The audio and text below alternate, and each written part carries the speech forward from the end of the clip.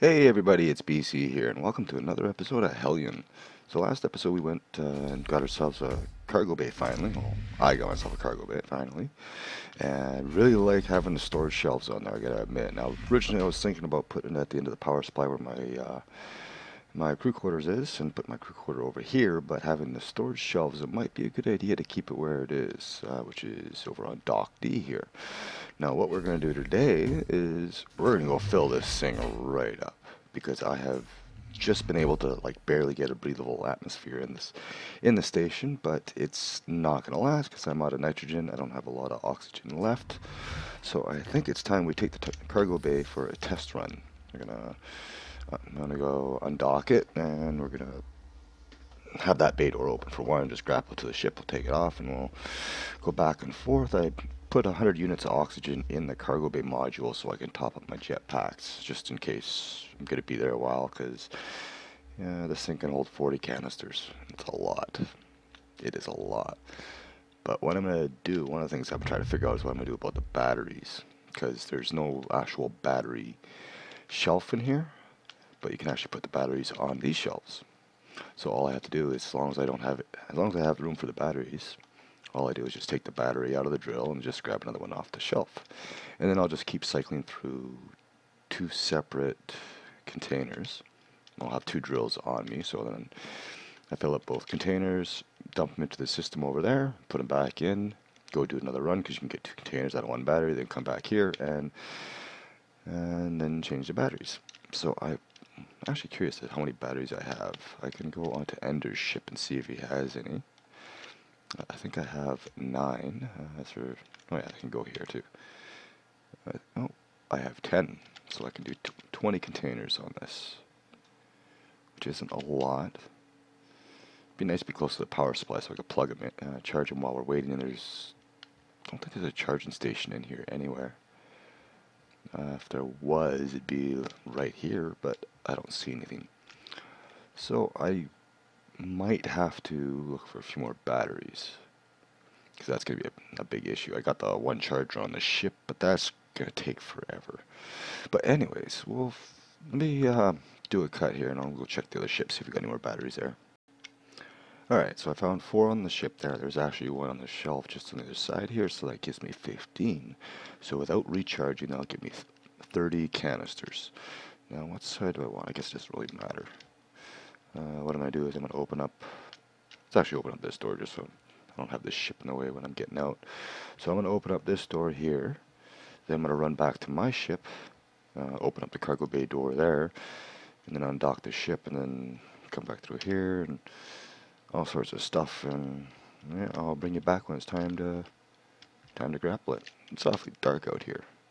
Be nice if you can get out, outdoor lights. Yeah, I gotta repair it, but I gotta do up there too, so I shall bring you back. Alright, I'm just getting ready to uh, un undock the cargo bay now. The ship's already free. I decided to do the ship first because I got this one so close to the other ship. I wanted to make sure that I didn't drift and run into it. Uh, let's excuse me a minute. That's the best thing about uh, recording and not live streaming is you don't have to worry about sneezes. So I'm gonna pull this lever here. And I'm gonna go on this side, close the door because I want to keep that pressure on this side of the station. Shut that, and we pull that. So now we are free. Now we gotta blow this hatch. Actually, Might as well keep whatever we have in here. And we'll go out through the airlock. One thing I can never understand is even though it's got no power, it's got no power generation, the airlock still works. You could be in darkness for months and months and months and months, have absolutely no capacitor power, but the airlock still works. Makes no sense. It is a little dark. Uh, another another thing I want to try too to see if it's uh, if you can actually dock to a grapple or if you have to grapple to a dock. It's something I've never actually tried. I know you can grapple a grapple, but I've never tried seeing if I can. Oh, actually, no, that wouldn't even work. Because uh, it only works standard docking port to standard docking port. So I got to move this down then. Get a little bit of light so I can see what I can do. Uh, I also noticed there's another turret stand underneath too. So this cargo bay's got three stands outside and then the two inside. So that is pretty good.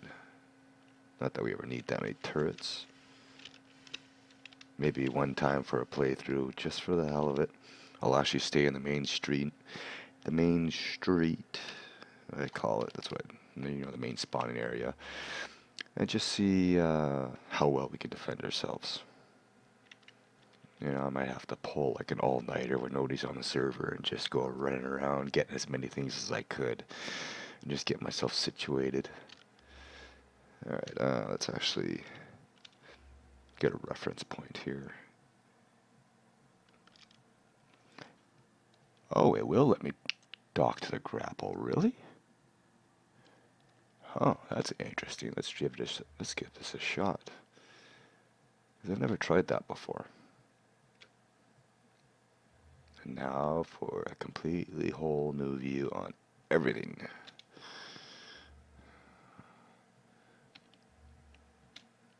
So make it makes this game tricky sometimes is your orientation and your positioning and your controls are constantly changing depending on your the orientation of how you're facing. Because theoretically in space there is no up there is no down there is no left. If I was traveling forward in this direction I turned around I'd be technically be going backwards. Something for you to think about. But this looks like it's working. I've never actually tried docking docking anything to a grapple. Uh, I didn't know it was reversible like that. Uh, we're gonna find out. And then we're gonna go take this thing off to uh, the nearest asteroid and load up on nitrates and heavy ice. If I can, I'll try to fill the hold. And it could, because each canister is 150 at 30 canisters. Yeah, it should be should be doable. 4,500 at least.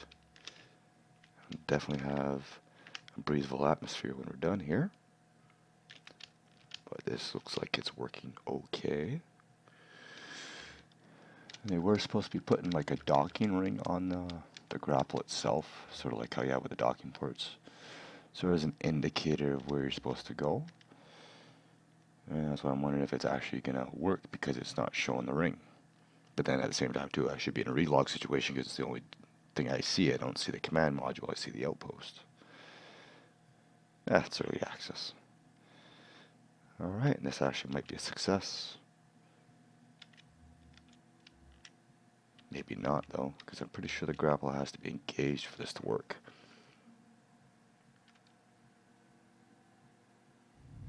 No, well, I'll be damned. You learn something new every day. Alright, so we are grappled here, so now I'm gonna hop back into the saddle and uh, yeah, I'll meet you at the asteroid. Okay, we are here. And to be quite honest, it's got to be like the smallest asteroid I've ever seen. Uh, I will have to head over to the cargo bay to get the batteries. Uh, switch jetpacks. I got to fill the other one up. But I did have some oxygen on the in the cargo bay just for this situation. But look at this. This thing is tiny. I think my station's bigger than this thing. definitely. Oh, we got to go get some batteries. Uh, the good thing about being a small asteroid like this, uh, if we do happen to find a spot that's got what we're looking for, at least it'll be easy to find.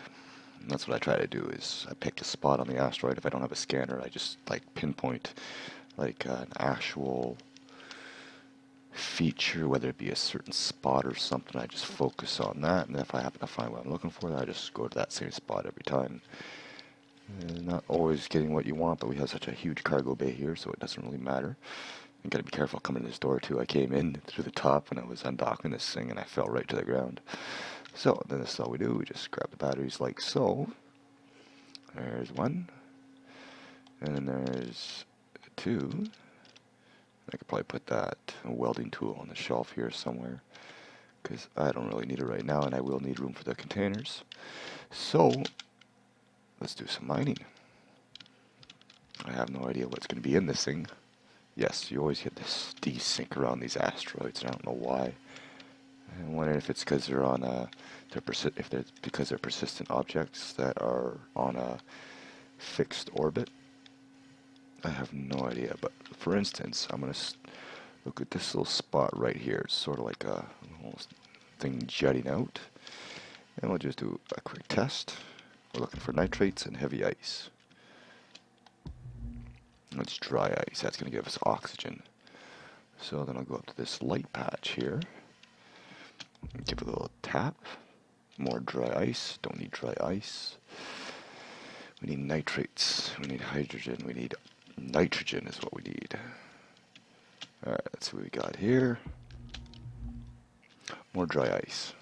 Don't tell me this whole thing is dry ice. It's gonna suck. That's also why I like taking through drills. Because you gotta do your test drills. More dry ice. And usually you end up using 10 or 15% of your container just on your testing.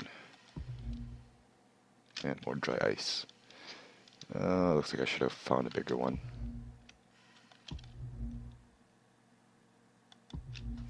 More dry ice. Well, we got lots of oxygen. That's not a problem.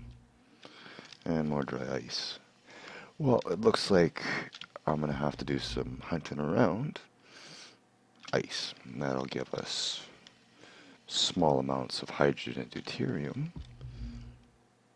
That's why I go with the heavy ice because it's more of a compact form. Uh, it's more ice. But anyways, I'm going to do a little bit of work here and I'll bring you back. Probably take me an hour or so to fill the cargo bay. And I will bring you back with the with the results. Okay, I'm finally done. I went through 14 batteries, which means 28 containers. And needless to say, I've been at this for about an hour and a half now, and uh, yeah, it gets kind of boring after a while. But definitely got quite the haul today. And there we go, there's one container. Uh, yeah, we'll put it back on the drill. Why not? I was having issues with the batteries on the shelves. Sometimes you don't, can't actually pick up the batteries. So you have to fill up the rest of the shelf and then try it again.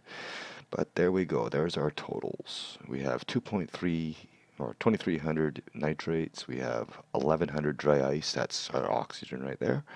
And we have about 700 of the heavy ice. Uh, I'm not going to bother trying to refine anything here because just don't have the power for it. Uh, it'd be nice to have a servo, but yeah, I can't win them all. So anyways, I'm to head back to the station. We're to get this thing all docked back up. I'm to start getting some stuff refined and pressurize the station, and I'll bring you back when when my chores are done. Anyway, I'll see you, see you soon. Okay, well, it didn't take too long, to about 20 minutes or so to process everything. But we have the life support system completely full. We do have, uh, hang on, gotta get back in here. We still have, oh, we did have a little bit of nitrogen, but I put it in uh, the lab rat. So at least my ship's got a little bit of life support.